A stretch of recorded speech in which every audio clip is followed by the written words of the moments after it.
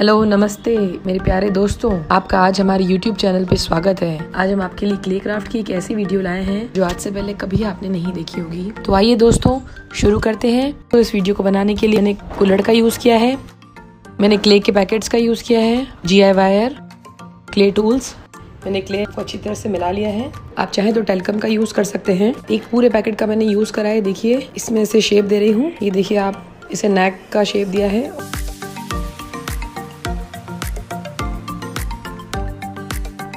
और ये देखिए इसे मैंने इसके फेस का शेप दिया है। ये वायर मैंने इसके अंदर डाल दिए देखिए। ये वायर हम इसके अंदर इसीलिए डाल रहे हैं ताकि ये एकदम पक्का हो जाए, टूटे ना बैंड ना हो। इसलिए इसमें एक सपोर्ट देने के लिए हम वायर डाल रहे हैं। अगर आपके पास पतला वायर है तो आप वायर को डबल कर सकते हैं। और मैंने टेल डाल के इसे रख दिया है। दस से पंद्रह मिनट के लिए मैं इसे छोड़ दूँगी, ताकि ये ड्राई हो जाए। हमें इसे पूरा नहीं सुखाना है, सिर्फ़ इसे थोड़ी देर के लिए बाहर की सतह से हल्का से सूखने के लिए छोड़ना है, ताकि जब हम इसे पॉट पे मिक्स करेंगे, इसकी शेप ना बिगड़े।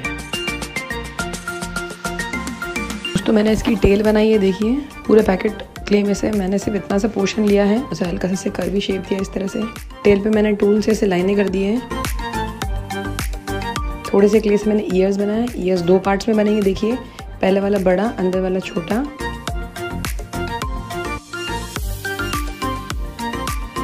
इस तरह से ईयर्स बन गए हैं।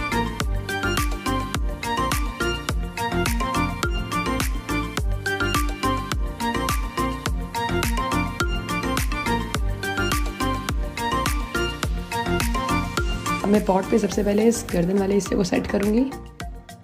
जो क्ले बचा है, वो साथ साथ हम इसमें मर्च करते जाएँगे। दोस्तों मिक्स करने के लिए मैंने फेविकॉल का यूज़ किया है। आप चाहें तो फेविकॉल के साथ में एक फिंगर मतलब सिर्फ़ अपनी उंगली गीली करिए पानी से और इसे मिक्स करते जाइए। ज़्यादा पानी डालने से ये क्रैक हो जाएगा और ख़राब हो जाएगा। आप ज़्यादा इसमें आपको फेविकॉल का यूज़ करना है। इस तरह से मिक्स करते जाएँगे और क्ले को अपन इस पर अप्लाई करते जाएँगे।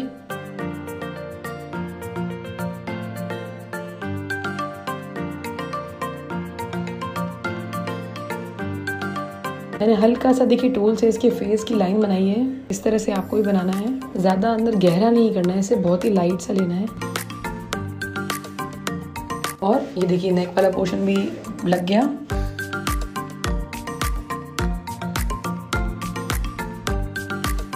इस तरह से मैंने पीछे देखिए टेल बनाई है।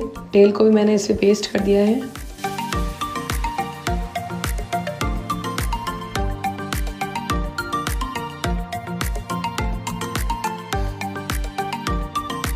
देखिए, मैंने क्ले के इस पोर्शन को हाथ से ही दबा के गोल कर लिया है। या आम भाषा में तो रोटी का आकार दे दिया है। इसे मैंने बीच में से दो भाग में कट कर लिया है। जो पॉट का करवी शेप है, उस तरह से मैं इसके ऊपर इसे शेप दे रही हूँ। देखिए आप, हमें ज़्यादा कुछ इसमें मेहनत नहीं करनी, बिल्कुल राउंड टू राउंड मैंने इसे शेप दिया है। देखिए, इस तरह से। देखिए, दोनों साइड पे मैंने ये सेम चीज़ कर दी है। और इसे पूरी रात हम सूखने के लिए छोड़ देंगे। Tomorrow. देखिए दोस्तों, ये पूरी तरह से सूख चुका है।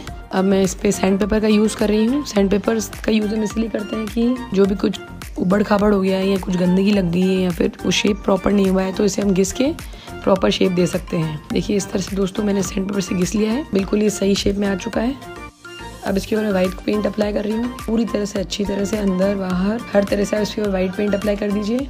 व्हाइट पेंट लगाने के लिए मैं हमेशा यही बोलती हूँ कि व्हाइट कलर लगाने से जो आप सेकंड लेयर कलर लगाते हैं, वो कलर उभर के, घर के बाहर आता है, इसलिए हम व्हाइट पेंट लगाते हैं। व्हाइट पेंट लगा दिया है। दोस्तों, ये पूरी तरह सूख चुका है।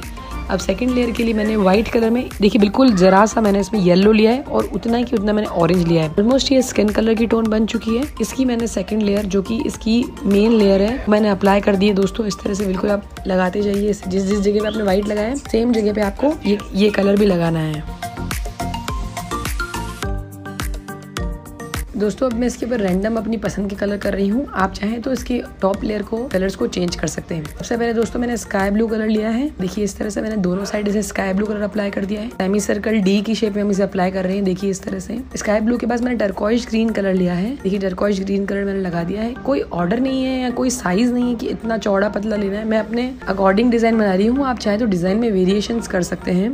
टर्कॉइज ग्रीन कलर लगा दिया है।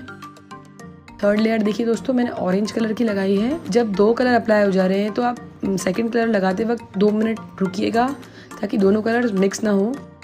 ऑरेंज कलर देखिए दोस्तों, लग के कंप्लीट हो चुका है दोनों साइड पे। मैंने इस पे रेड कलर लगाया है। देखिए, इस तरह से रेड कलर भी लग चुका है। अब ब्लू कलर बिल्कुल ही ड्राई हो चुका है। इसके ऊपर मैं येलो कलर की डिज़ाइनिंग कर रही हूँ, इस तरह से। येलो के आउटर में मैं रेड की डिज़ाइनिंग कर रही हूँ। टर्कोइज ग्रीन के ऊपर मैंने येलो कलर लगाया है। जो कलर जिस कलर के ऊपर उभर के आता है, वो कलर हम ऊपर लगा रहे हैं। तो आप चाहें तो अपने अकॉर्डिंग टोन्स को चेंज कर सकते हैं। कोई डिज़ाइन फिक्स नहीं है। देखिए, मैंने रैंडम डिज़ाइन बनाई है। इस पर ट्रायंगल्स बना दिए मैंने, ऐसे क्रॉस बना दिए हैं। नेक वाले पोर्शन पे भी मैं डॉट्स लगा रही हूँ। दोस्तों, कुछ टेक्निकल इशू की वजह से मेरा हाथ इस तरफ़ कैमरे से बाहर हो गया। देखिए, आपको देखने से सब कुछ समझ में आ रहा है। बिल्कुल कम्प्लीटली ये देखिए डिज़ाइनिंग सारी कर ली है, दोनों साइड डिज़ाइन कर ली है। दोस्तों पिंक कलर से मैंने इसकी आईज बनाई है।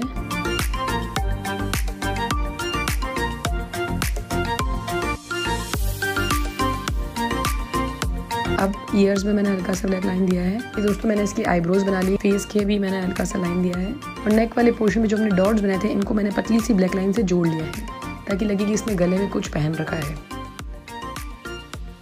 देखिए, इस तरह से दोस्तों ये कलर्स कंप्लीट हो चुके हैं। दोस्तों, मैंने इसके अंदर मिट्टी डाली है, पौधे वाली मिट्टी और मनी प्लांट की बेल हमने इसमें डाल दी है।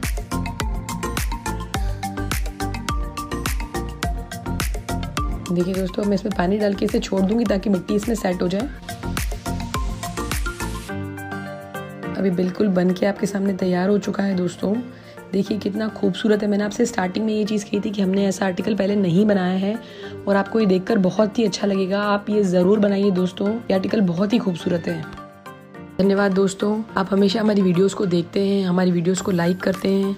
हम आपसे चाहते हैं कि आप हमारी वीडियोस को ज़्यादा से ज़्यादा शेयर करें ताकि जो लोग क्रिएटिव हैं और वो अपनी क्रिएटिविटी को शो करना चाहते हैं तो हमारी वीडियो से वो मदद ले सकते हैं। हमारे चैनल को सब्सक्राइब करना ना भूलें दोस्तों, ताकि हमारे वीडियोज़ को सबसे पहले अपडेट आप तक पहुँचें। धन्यवाद।